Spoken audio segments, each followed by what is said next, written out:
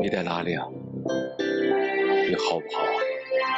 看不见，听不见你的话，忐忑牵挂，一次次冲动，蛮想把自己留下来，和你一起爱满三遍野的花。武汉加油，中国加油！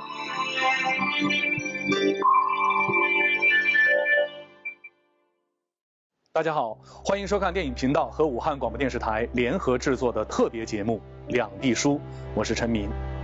一份饱含电影人情感的信件，写给每一位在疫情期间贡献力量的人。我们今天的主题是乐观。在这场持续了一个多月的疫情抗击中，各行各业不论男女老少，都投入到了这场大考当中，始终保持着积极乐观的态度，贡献着自己的力量。江苏省苏州市某企业经理李申，大年初二从微信群中得知口罩工厂正在招募志愿者，想都没想就报名参加了。工厂里汇集了一百多个互不相识的人，每天当他们看着二十万个口罩出厂送往抗疫一线的时候，大家都会抬起头彼此笑一笑。湖北省利川市菜农秦师傅。大年初三，天没亮就出发了，在寒风里骑了四十公里的电动车。由于不会用导航，他只能一路走一路问，直到下午五点半，把二十四箱新鲜的蔬菜送到了援助湖北医护队入住的酒店。搬菜的时候，他憨厚地笑着说：“菜不好看，好吃。”河南省洛阳市某家具厂老板袁小明，大年初五接到一笔医疗柜的订单。价值二十万。当看到订单来自火神山医院的时候，他立马回复：“不用买，我们免费捐赠。”由于自家的储备不足，袁小宁还把消息发到了当地的家具协会微信群。最后，集十四家企业之力，一夜之间完成了订单。看到设备齐全的火神山医院开始投入使用，迎接病患，他也笑了。面对疫情防控的严峻形势。武汉生物工程学院的广大青年学子们纷纷响应号召，主动报名参与到全国各地的抗疫阻击战中。有负责对入院人员进行体温检测的，有协助搬运一线抗疫物资的。虽然这些事情和他们自己的专业没有关系，但他们如释重负的笑了。每一份力的凝聚，就是必胜的信心。同样。头顶金色盾牌的武汉市人民警察也奋战在疫情守护战当中。截止到二零二零年二月十七号，武汉市共计出动警力三点九万人次，公安、民警、辅警驻守医院维持就诊秩序，协助转运送治病人，全力确保社会治安大局平稳有序。他们累着累着，还是笑。他们每一个人都是十四亿中华儿女的一份子。他们面临大考，他们乐观向上，他们相信爱笑的人运气都不会差，没有一个春天不会到来。相信在我们的共同努力下，我们一定能够顺利度过这次难关。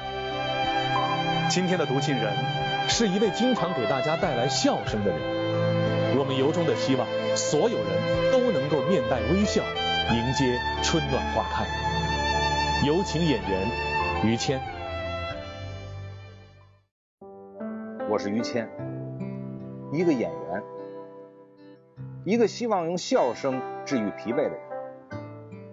我去武汉还说过几回相声，不过最近几天我抖不出什么包袱和笑料了。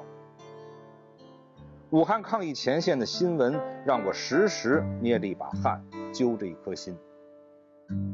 突如其来的新冠肺炎疫情对中国人来说是一场大考。我也演过老师，我太知道高考意味着什么。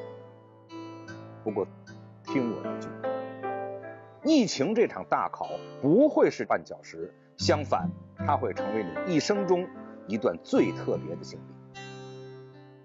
在过去这一个月里，我认识了与生命赛跑的医务工作者，舍小家为大家的基层民警，创造中国速度的建筑工人。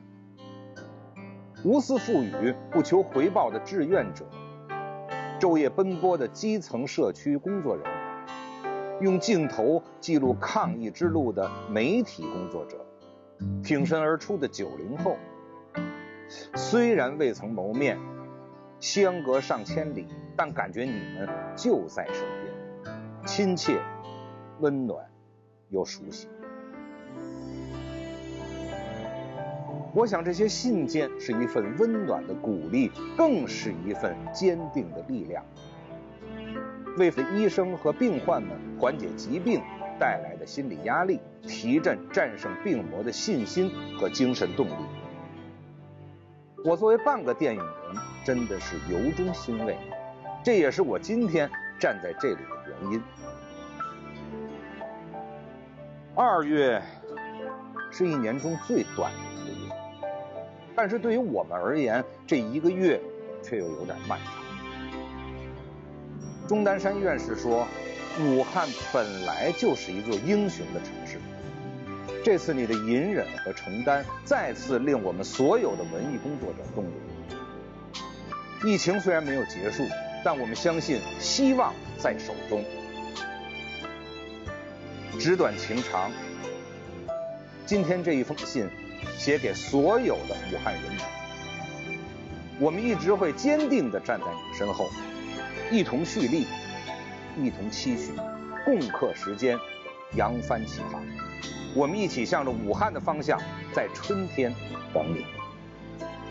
此致，敬礼，于谦，二零二零年春。和你一起。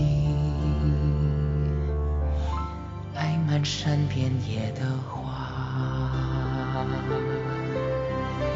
你好吗？你在哪？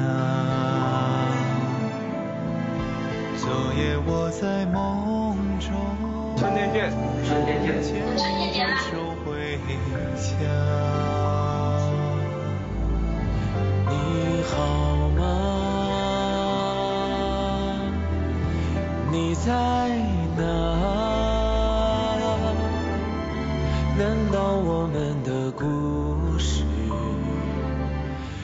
只剩这幅画？